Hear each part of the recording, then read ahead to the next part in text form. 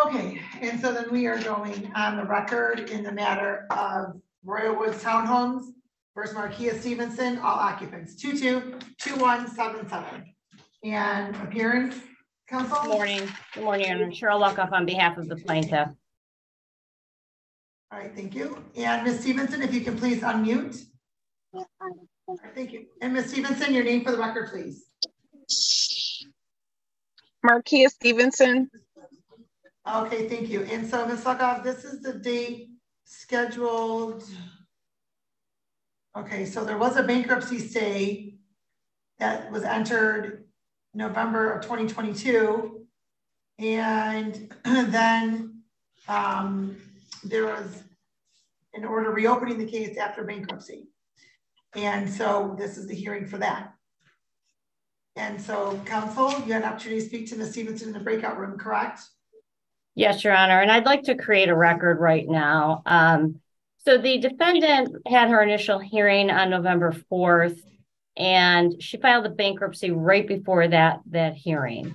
She was, she did appear, she was given her rights. Um, her bankruptcy, she had filed a chapter thirteen. It was dismissed for failure to comply. She paid zero into her plan.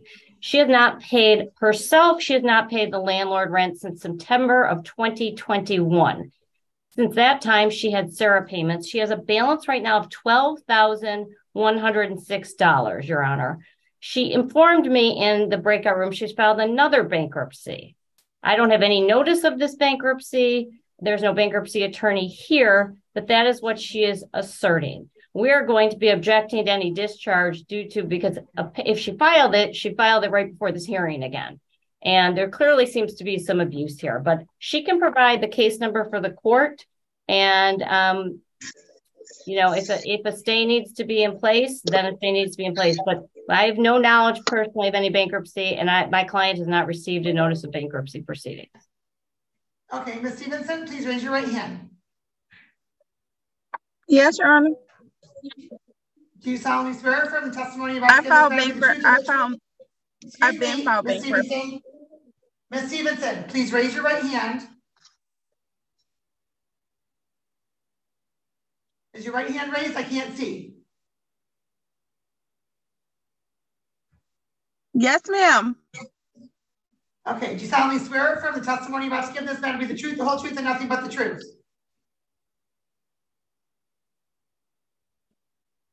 Yes, ma'am.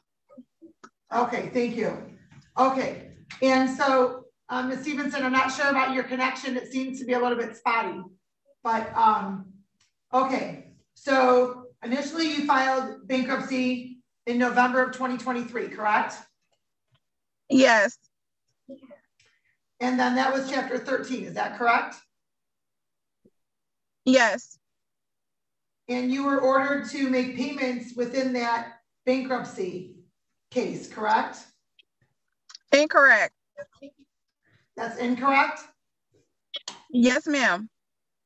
Okay, so chapter 13, were you required to make any payments at all? I fired my lawyer for the chapter 13. I reached out to Royal Woods because the payment plan that he came up with, I did not agree with. So I fired him. I contacted Royal Woods and I told them about my new attorney. And I just gave Miss Lockoff the case number. I, I don't have the case number. Her connection was spotty. She said twenty-three. That's all I have, Your Honor. Okay, I can give you the Miss case number, Your Honor. what is the case number? Okay, one second, please.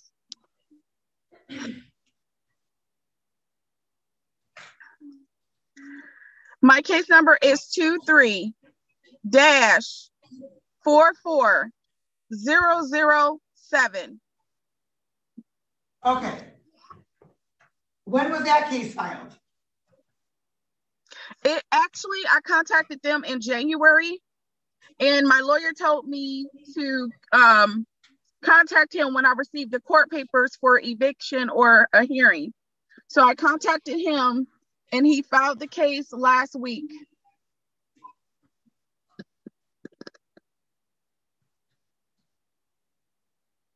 And I did contact Royal Woods as well. Who did you speak to? I spoke to um, Andrew at Royal Woods and I informed him and also um, um, a lady named Cheryl at the um, at the office at the uh what you call it, the corporate office. She emailed me and actually called me. I told her, I said, I have another case and I don't know why we're going to court. I still need the 30 days, you know, to vacate the premises. She said, okay, we're still going to take you to court. I said, okay, fine. I said, you guys are wasting your time because I'm, uh, I'm on, I'm on another automatic stay. She's a professional. Um, Your Honor, So are you? Are you- respectfully, just, one moment. I'm. I'm, I'm just a moment, Ms. Luckoff. Yeah. So are you planning on relocating then, Ms. Stevenson? Ma'am, Yes. Are you planning on relocating then? could you repeat that, Your Honor? Are you Yes, planning on relocating? at my leisure. At at your my- at leisure, my that's not how that works, ma'am. On your own time, that isn't how this Yes, works. ma'am. See, a bankruptcy,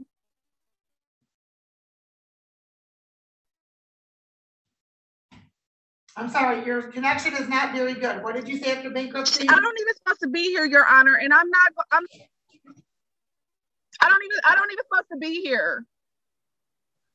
Why not? This is not bankruptcy court. This is not bankruptcy court. I don't even have to explain myself.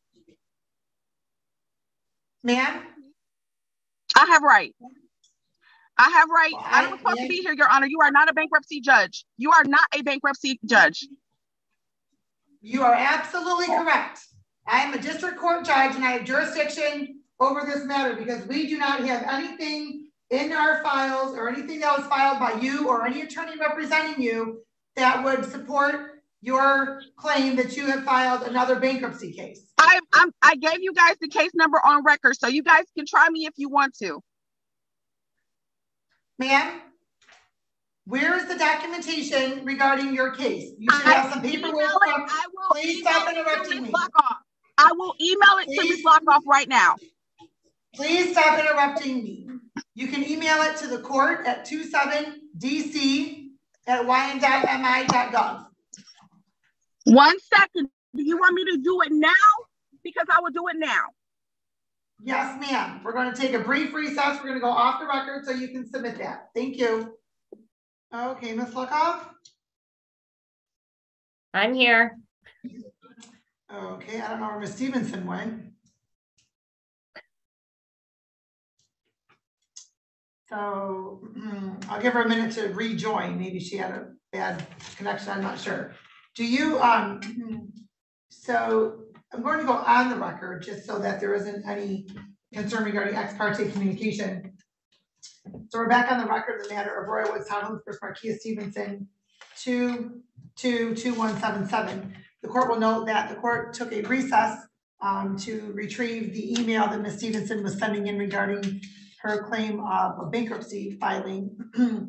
The court will also note that Ms. Stevenson was just on the Zoom and has um, logged off. I'm not sure if her device logged off or she logged off intentionally, I'm not sure, but um, what I would like, Ms. uh, Luckoff, is I'm going to forward this to you as well. Um, but I have a request of you. Do you have access to the bankruptcy court? I do. Um, Yes. Okay, so I would like if you could please um, access Ms. Stevenson's November of twenty twenty-two case. Okay. Um, and if you, if there's a, uh, a register of actions of some sort, if it goes through and spells out what that is, if you can, um, email that over to the court, please. So you want the actual petition that she filed in November? Not necessarily the petition, But but, so for okay. So like our, like our docket, right, you can see a register of action when the matter was filed, what, everything that went through sequentially, and then whether or not the chapter thirteen agreement uh, was placed on the record, or if it was just a signed um, agreement, and if Ms. Stevenson signed that agreement. Okay.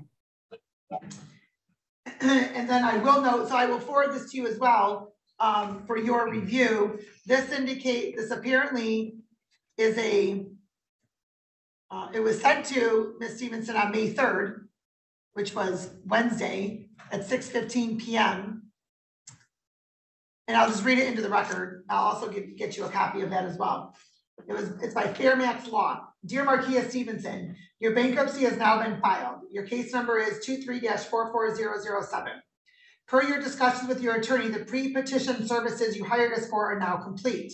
We completed a bankruptcy analysis, reviewed all of your documents, and filed a skeletal bankruptcy petition.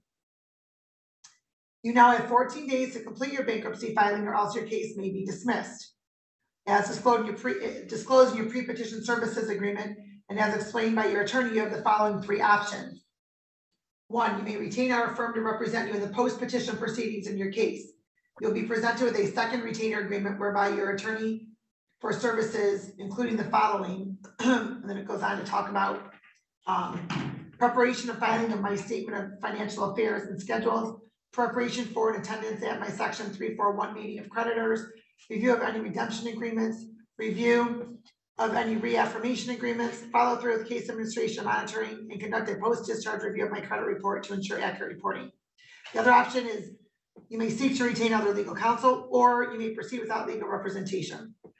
Then it goes on to, um, any cost would not be owing or not, so, um, bless you. So Ms. Stevenson is now logged back in, so, um.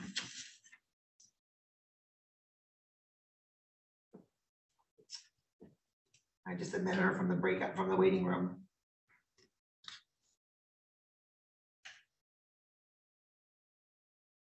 It shows that she is joining. Okay. What do you Alright, want so me to do? I, I just wanted to be able to see you, that's all, I can see you now. So I did receive your email, um, regarding the communications from Fairmax Law. So I'm going to forward that to, uh, reporting that to Ms. Luckoff. And then Ms. Luckoff is accessing your previous case so that she can, um, send a copy of the register of actions to the court, so I can review that.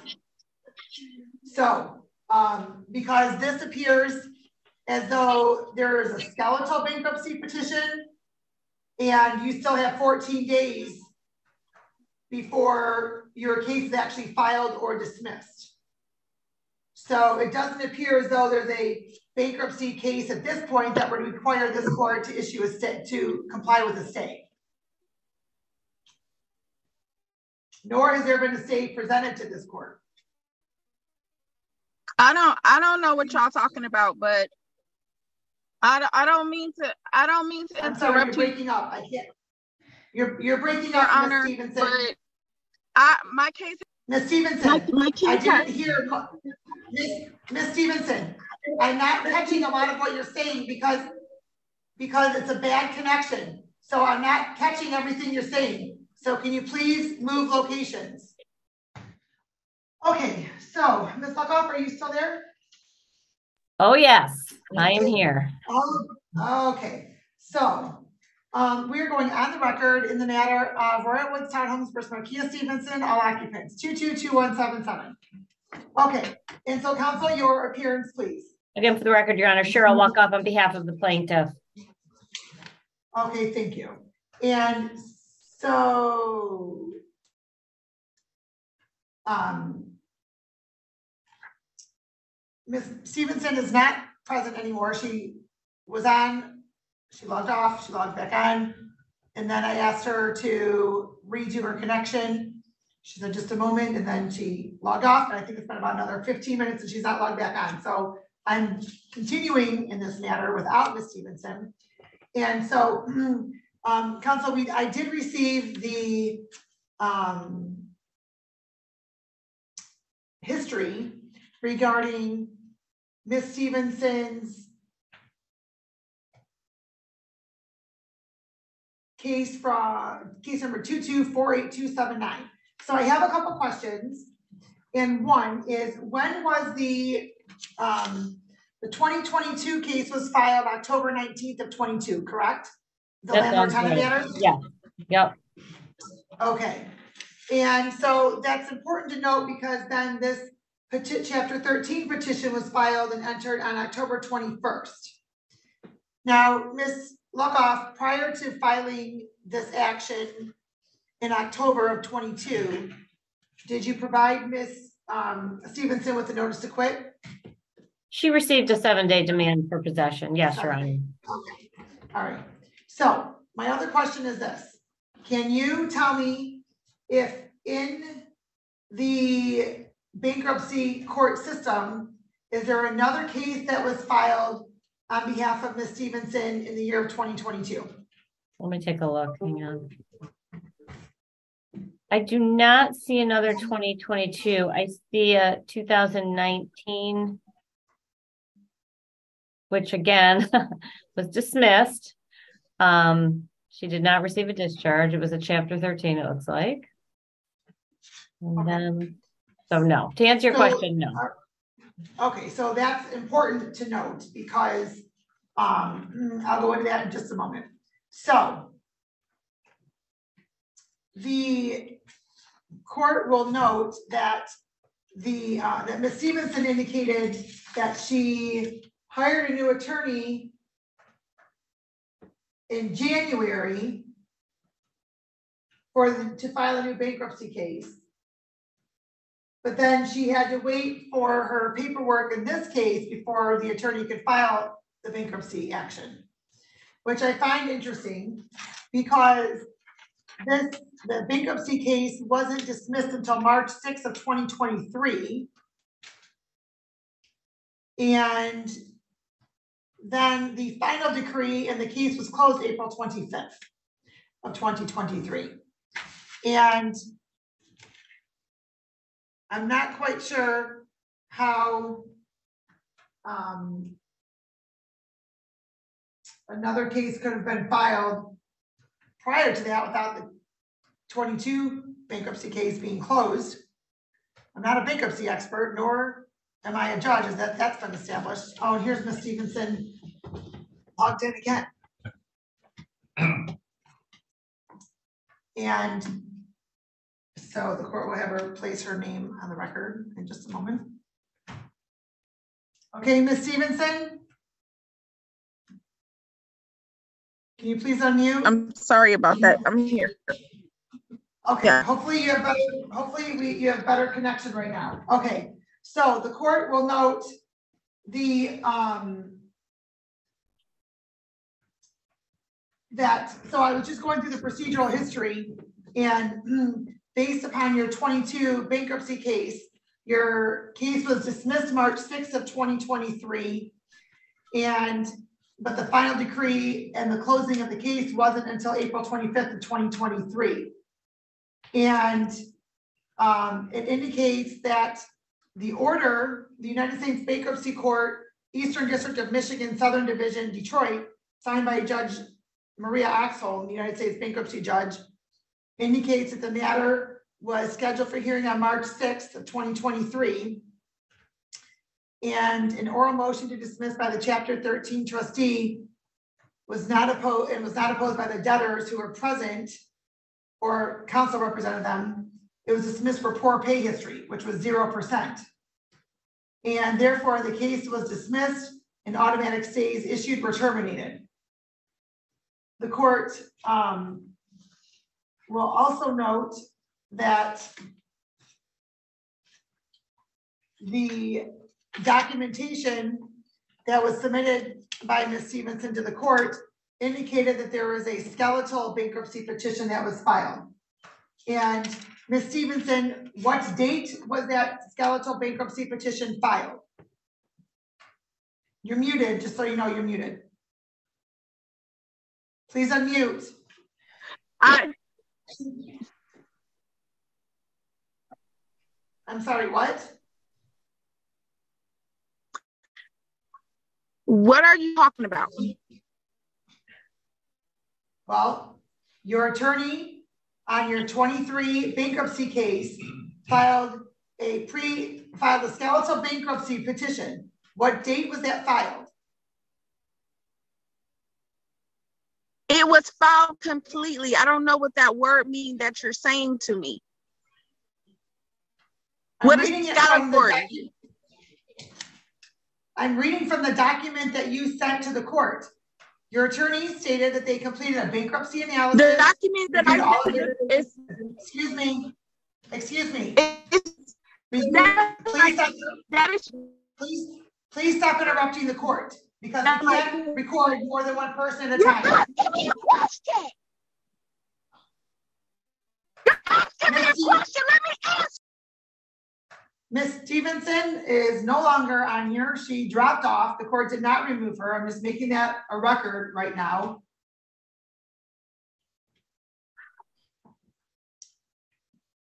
Miss Stevenson, please unmute. You guys would not let me say anything in this courtroom. Just one moment, just one moment.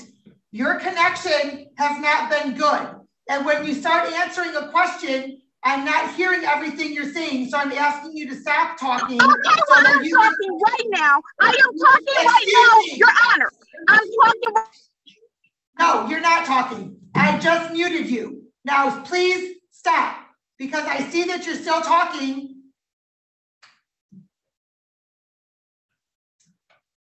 You can continue to waste your breath. I muted you because your connection is poor. I cannot hear what you're saying because it's breaking up.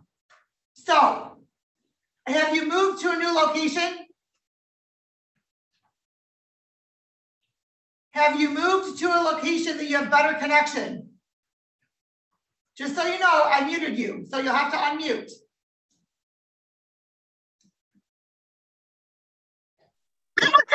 Chat. Since you can't hear me, I'm gonna type you in chat. I'm sorry, what is that? I'm going to type you in chat. Nope, we don't have chat enabled, ma'am. You cannot send a Okay. message to via chat. Well, I'm letting you know. Um, I, you're not supposed to be here. My bankruptcy has been filed. No, ma'am, ma'am, that is My not accurate. bankruptcy has been filed. You guys Excuse me. to the bankruptcy. If you do anything or try to evict me, if anything is this on my record, I don't care. It better not be on my record. Excuse me, you need to calm down. Excuse me, you need, you need to calm down. Because I'm supposed to be here. I'm an attorney. I'm supposed you to be here. Okay, Ms. Stevenson, you, excuse me. Well, the court muted Miss Stevenson because can't catch much of what you're saying. Ms. Stevenson, stop talking. Stop talking. We cannot get what you're saying on the record because you're screaming and you don't have a good connection. So stop talking, please. Stop talking. You heard what Stop talking. You heard what I.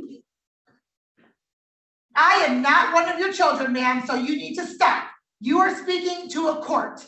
You are in court, so you need to have some respect for the court. So, as I was saying, Ms. Luckoff, there is not another case that Ms. Stevenson filed in 2022. The court will note that, um, actually, Ms. Luckoff, can you pull up the names, um, the bankruptcy court filing to see when this, um, bankruptcy petition was filed, please? This, this, this to see if it was one? before May 3rd? Yes. Okay. The case yeah. number is 23-44007. Okay. Okay. This says date filed 4 30 2023. 4 Oh, excuse me, four thirty, Your Honor, four thirty. on a Sunday? That's what it says. Let me just, Okay. I'm gonna open the petition here. See what we have here, if that comports. Yes, it says 4.30, 2023. Okay. All right, so what the court, um, will note, counsel, is since there was not, or since there was only one case filed in twenty twenty-two, well, actually, I'm sorry, uh, when you open up the case, does it show if there is any motion that was filed along with the petition? Let me look here. Okay, so it says petition, statement of social security number. I won't read you the whole thing, but um, let's see, motion. Uh, no notice of missing documents. Um, there's no, I do not see a motion, Your Honor. Okay, so, um, You guys, you guys mess with me if you want to. me, I'm letting you know this me. now. I'm letting you know this now. I'm letting you know to stop interrupting the court or you will be held in contempt of court. Stop, stop, stop. The court is going to state that, um, the petition was filed on April thirtieth. So there's fourteen days to file the balance of what needs to be filed, which puts it to May fourteenth. And so council, because there was only one action filed in twenty twenty-two. There is a thirty-day automatic stay that uh, was triggered. So I cannot enter a just stay. But what I will do is I'm only going to set this out for two weeks, well, less than two weeks, because I'm going shortly after the fourteen days by which the balance of the documents need to be filed or the bankruptcy is dismissed. I'm not going out thirty days right now. So the thirtieth day would be on May fourteenth. We don't have a docket on May nineteenth because of the mandatory judicial conference. So council, are you available on May sixteenth at 1:30 in the afternoon? I will make myself available, Your Honor. And we are doing this in person. The only thing I need to confirm, give me one second, is I have an in-person, nope, that's on the fifteenth. Okay, You guys can contact my lawyer. Excuse me, Ms. Stevenson, your lawyer has not filed an appearance here at all. So He your lawyer doesn't have, excuse me, then that's fine. Your, then your attorney will know how to proceed. You need to be here in person on May sixteenth at 1:30 P M. Why? Because the court is going after the fourteen days, we're setting this after the fourteen days to make sure if the bankruptcy case is still proceeding or if it's been dismissed. So that is why the court is Why will my setting for May case sixteenth. Stop interrupting me. Stop interrupting me. May sixteenth at 1:30 p.m. I will not be there.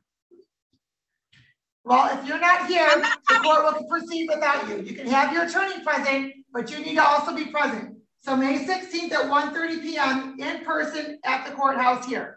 Thank you. We're off the record. thank you, Your Honor. Thank you. I won't be here.